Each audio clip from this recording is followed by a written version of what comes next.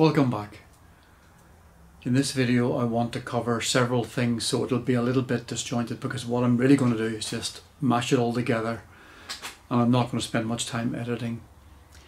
Vaillant got back to me about, about where to connect the temperature sensor from the cylinder and it normally connects to this connector in the hydraulic station. But they don't use this in the UK, they use it in Europe so they said chop it off and just connect using a choc block connector block. So that's what I've done. I've also got the flow and return holes drilled and lined with, I think it's Premier Pro sleeving. So that's ready for the flow and return pipes to come through. I'll, I'll take the camera out now and I'll show you the, the wall bracket and how I've done that. Okay, so there's the brackets up and there's the flow and return coming through the wall. I thought I could do it without taking down the flue, but I, I couldn't. The, there's a fixing top and bottom of each of these Hilti brackets, and you want to go into brick, you don't want to go into mortar. So it was quite difficult to get a position that would allow me to do that.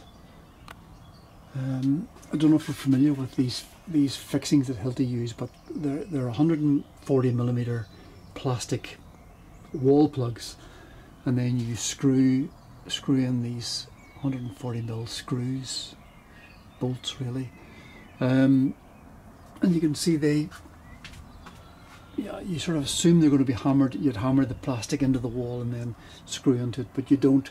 You hammer it through that rectangular washer uh, so there's 40 mil of both the wall plug and the screw on the outside. That's okay because brick's only 100 millimeters thick anyway, so there's no point in being more than 100 in the brick. Um, I also put a third bolt in, I don't know if you can see it there, in each bracket. Uh, and that is one of these here. It's a 10 mil screw in bolt. So you drill a 10 mil hole in your brick and you screw into it. This is one of my bricks. Problem is, of course, there's holes everywhere. So, and you have no chance of determining where you're going to be. Ideally, you'd want to be there, but probably not. Probably Sod's Law in there. Anyway, that's that's the third fixing on each of those brackets above. The pipe here, this is actually a gas line. Ultimately that will be moved because I want to run the, the pipes across there and put um, pipe clips on. So that's the outside work done for now. Another thing to decide is how I interface the heat pump with the pipe work.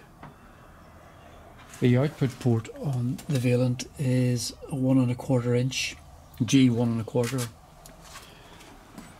So I plan to put a socket on, one and a quarter inch socket, a one and a quarter inch to one inch reducer, then one inch to 28 millimeter compression, 28 mil pipe, 45 degrees, 28 mil pipe, 45 degrees, then have the freeze valve and then the flexies.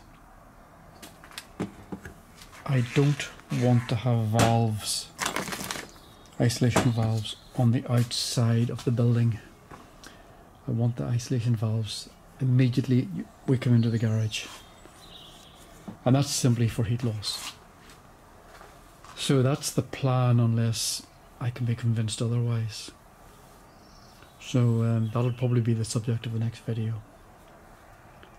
Thanks and bye.